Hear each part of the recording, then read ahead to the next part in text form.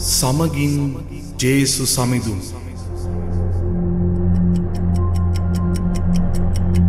ගෙවමු එක විනාඩියක්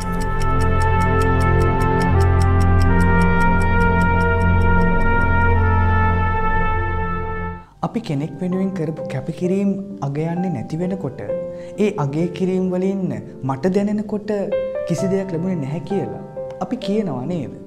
මම මෙච්චර දේවල් කරා ඔයා වෙනුවෙන් මෙච්චර දේවල් මම අතහැරියා වෙනුවෙන්.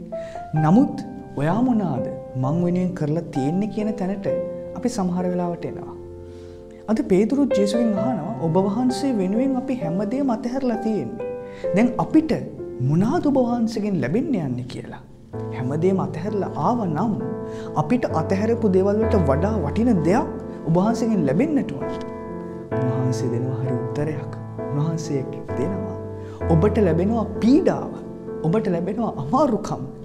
හැබැයි ඒත් එක්කම කාටවත් දෙන්නට බැරි සදාතනික ජීවනය ලැබෙනවා.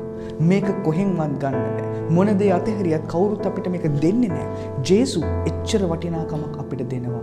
උන්වහන්සේ වෙනුවෙන් අපි අතහරින හැම දෙයක් වෙනුවෙන්